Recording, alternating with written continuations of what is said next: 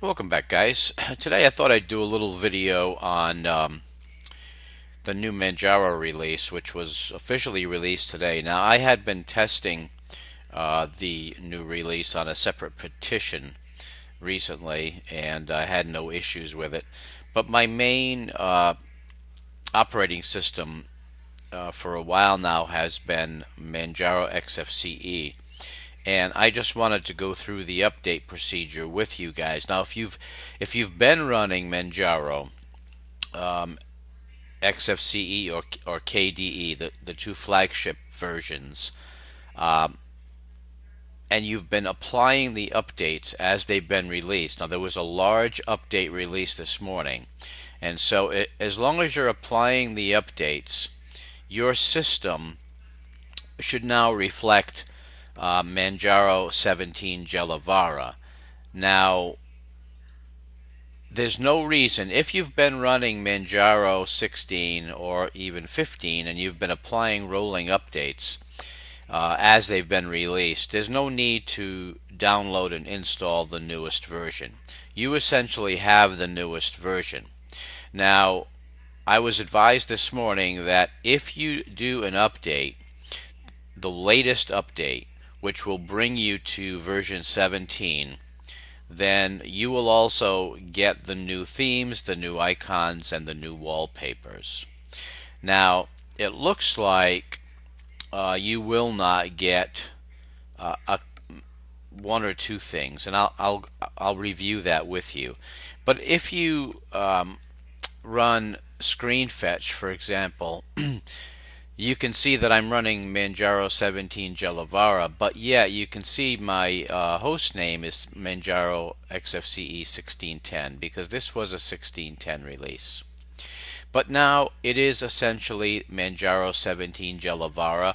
I'm not going to go and, and download the uh, the new ISO file. Uh, there is no need to do that. My system is running fine.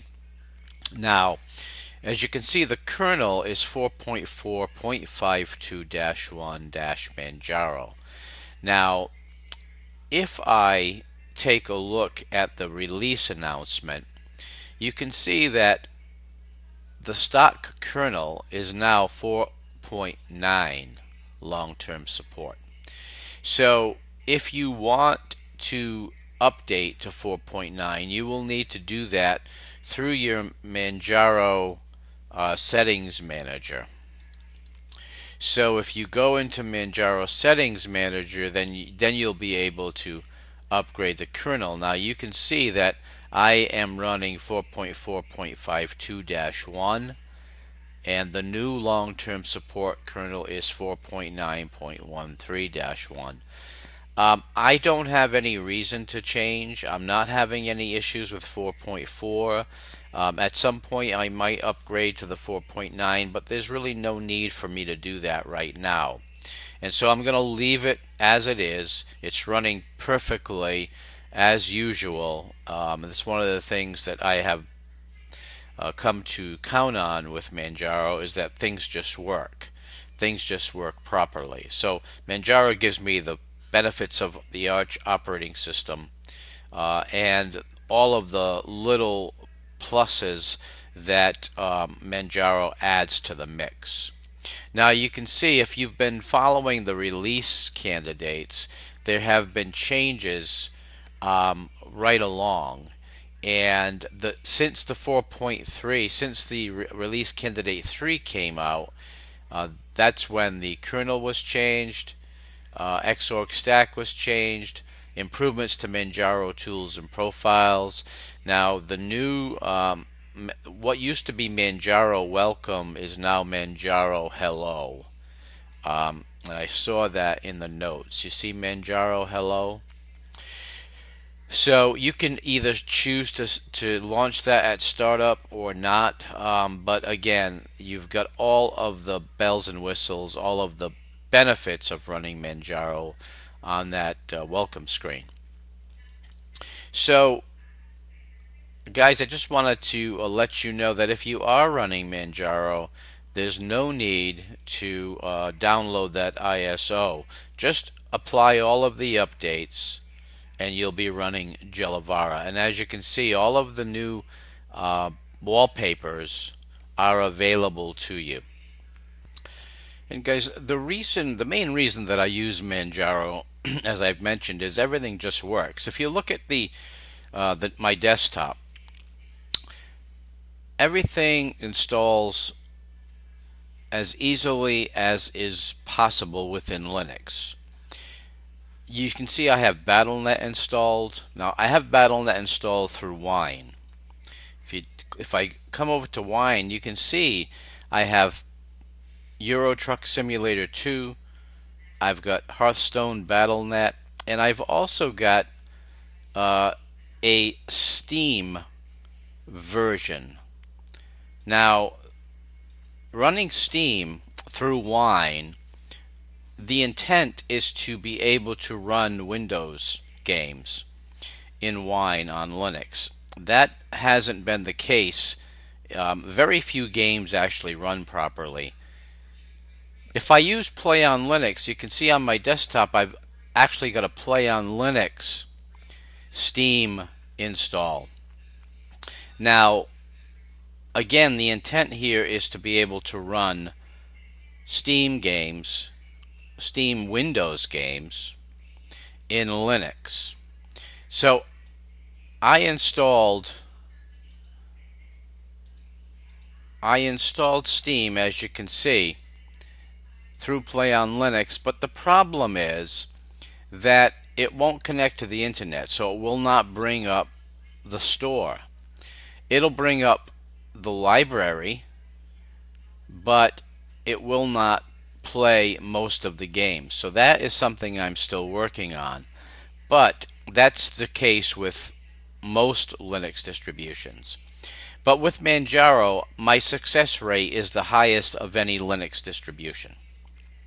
And so, and it's it's higher than plain vanilla Arch also. So with Manjaro, I'm able to run BattleNet, Euro Truck Simulator 2, Hearthstone, my regular Steam Linux games, and War Thunder with no problem at all. So that covers 90% of my requirements uh, for gaming. And again, Manjaro has the highest success rate for Linux gaming, in my opinion. So that's why I tend to use Manjaro as my day-to-day -day Linux distribution. So guys, uh, that is it for this brief video. Uh, now, before I go, I want to give one shout out to the Linux Network forum. Now, this was started uh, recently by a few um, gentlemen who are very much involved in the Linux community. And if you need help with a particular topic, uh, you might want to give this Linux Network forum a try. You can post your question.